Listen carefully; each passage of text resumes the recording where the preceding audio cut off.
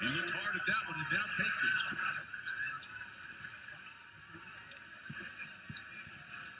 Page with the alley-oop. And Johnson with a finish. Yeah, terrific run that time.